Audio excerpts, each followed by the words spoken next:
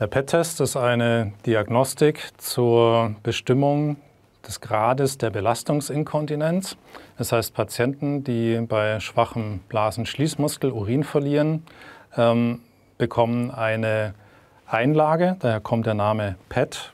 Und diese Einlage wird gewogen, wenn sie noch trocken ist. Dann muss der Patient bei voller Harnblase bestimmte Übungen machen, bekommt eine Liste, zum Beispiel Treppensteigen, Kniebeugen und so weiter, also irgendwelche Formen von Bewegung.